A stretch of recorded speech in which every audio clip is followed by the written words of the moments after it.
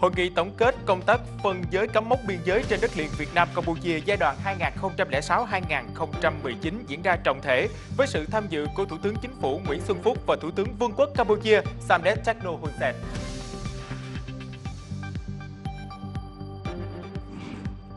Doanh số bán máy lọc nước không khí tại nhiều cửa hàng ở thủ đô Hà Nội đã tăng gần 2,5 lần so với 2 tháng trước. Đây là mức tăng trưởng đột biến sau khi những thông tin về tình hình ô nhiễm không khí tại Hà Nội khiến nhiều người bất an.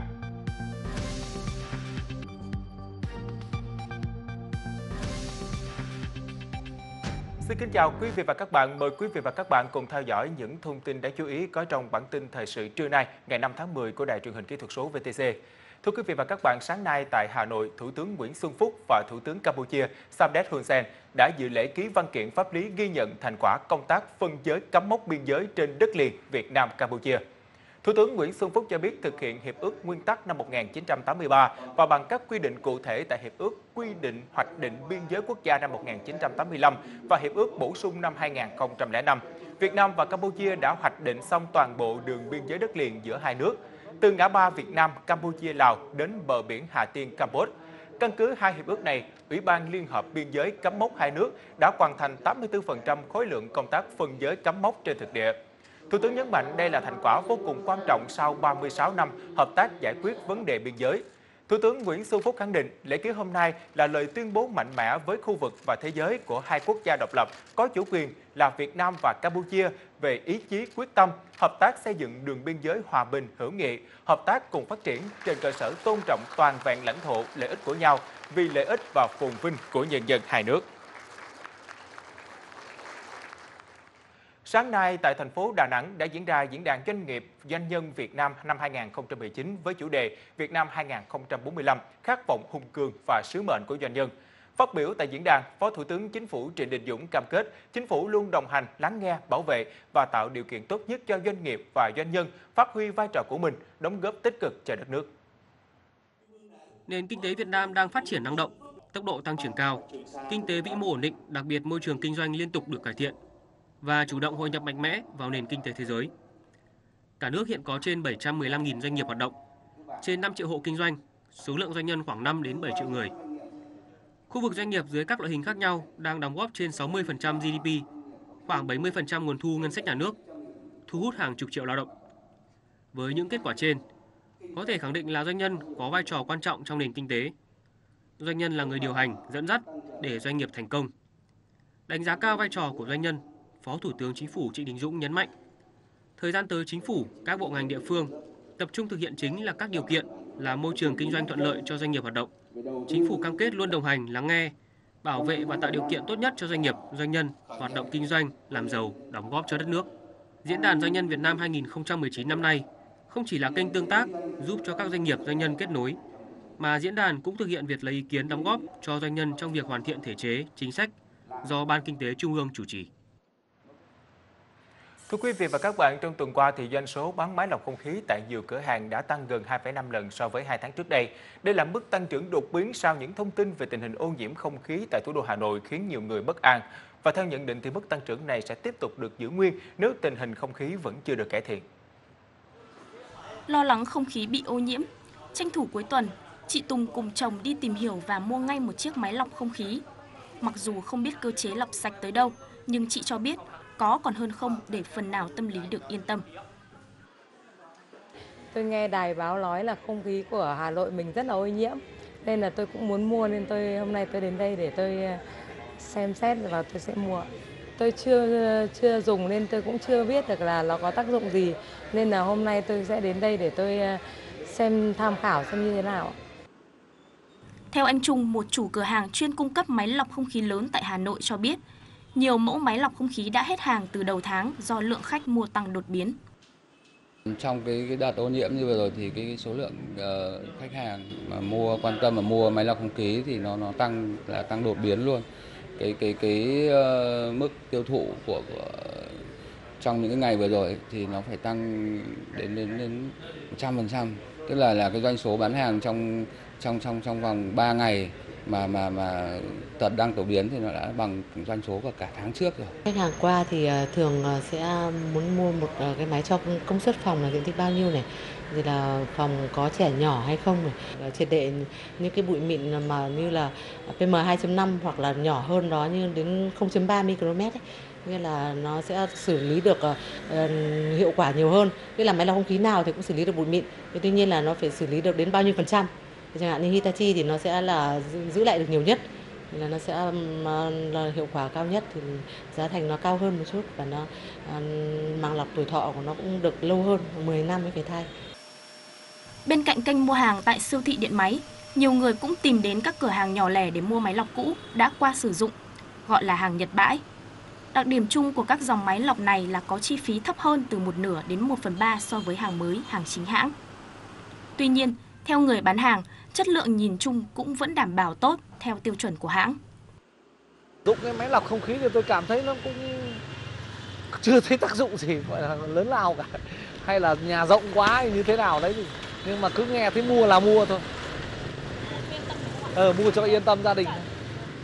Hiện tại thì mình nhà mình đang dùng và mình cảm thấy an tâm khi mà có máy lọc không khí ở nhà, nhất là gia đình có những trẻ nhỏ ấy.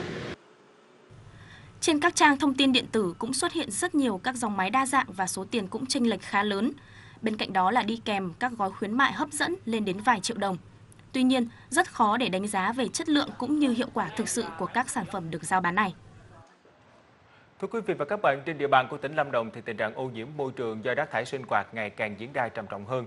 Tại huyện Cát Tiên thì lượng rác tập kết không được xử lý hiệu quả đã làm ảnh hưởng đến sản xuất cũng như là môi trường và đời sống của người dân nơi đây và chính quyền địa phương cho biết sẽ phải sẽ phải giải quyết ra sao, còn người dân thì buộc phải sống chung với nỗi lo âu.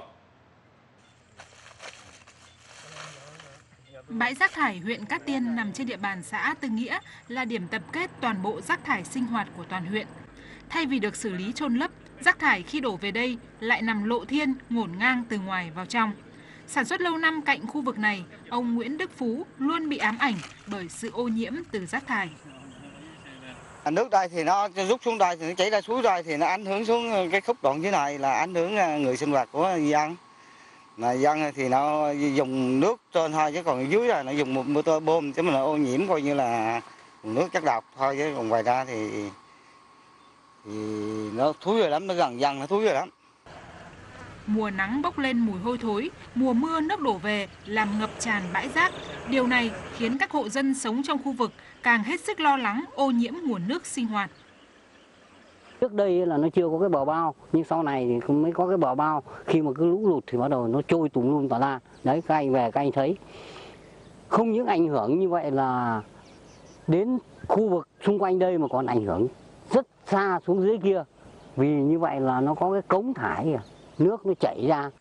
Để mà giảm thiểu cái ảnh hưởng thì phía trung tâm, về phía trung tâm được giao quản lý bãi rác thì cũng đã đắp bờ, bờ bao bằng đất xung quanh để hạn chế cái nước thải à, rác rỉ rác nó chảy ra cái suối V10 thì cái bờ bao nó sát bên bờ bao là suối V10 cái phương pháp này thì nó cũng chỉ tạm thời chứ còn nếu về lâu dài thì cũng phải là xử lý nó càng cơ hơn. Sử dụng từ năm 2008 đến nay, bãi rác rộng hơn 2 hecta này đã quá tải.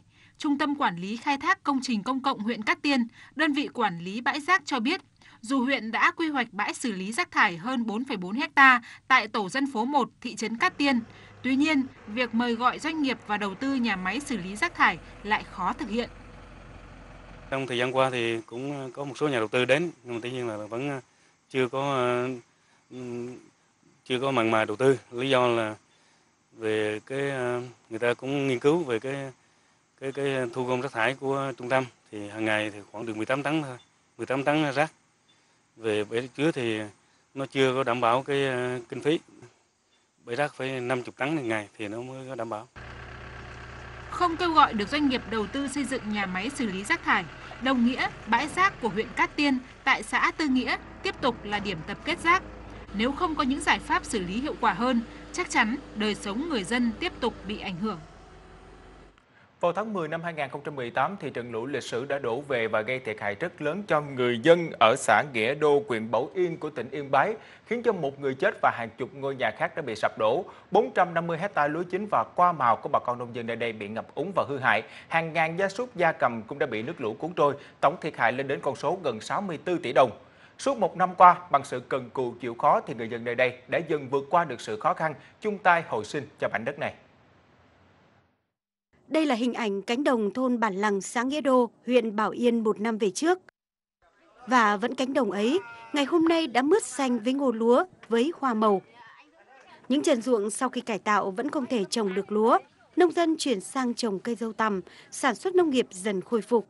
À, trận lý lực chử đi qua thì tàn phá hết à, ruộng và tài sản của dân chúng tôi hết. Bây giờ thì không à, đã lấy máy xúc về khôi phục ruộng không làm được nhưng mà thấy đảng và nhà nước bảo khuyến khích nhân dân chúng tôi bảo chúng tôi làm à, trồng dâu nuôi tầm thì chúng tôi đã làm à, củng cố làm cái ruộng để trồng dâu nuôi tầm ạ.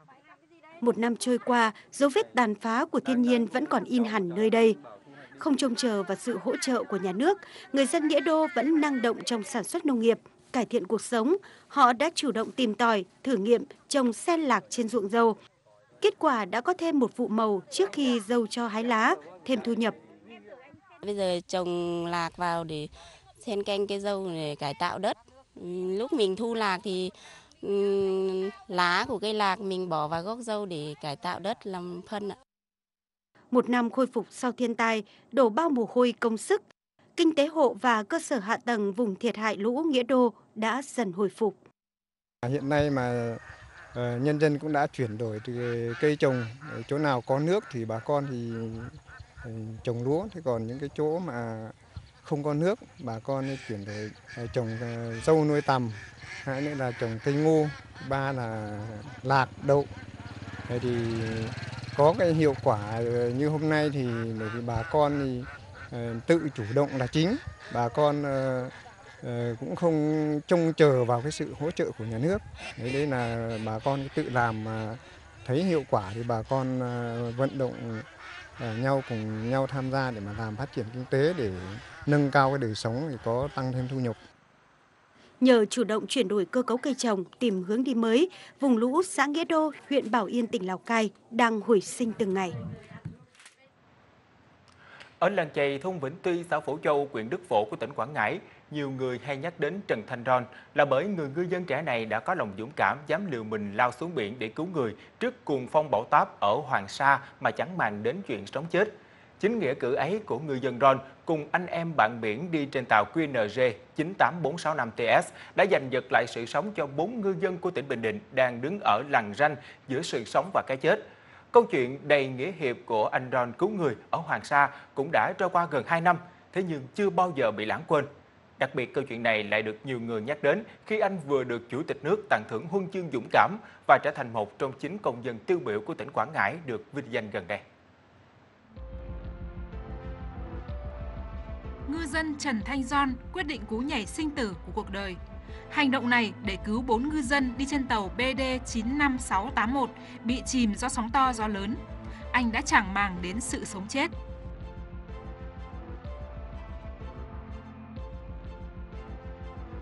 Hồi đó không nghĩ vậy đó.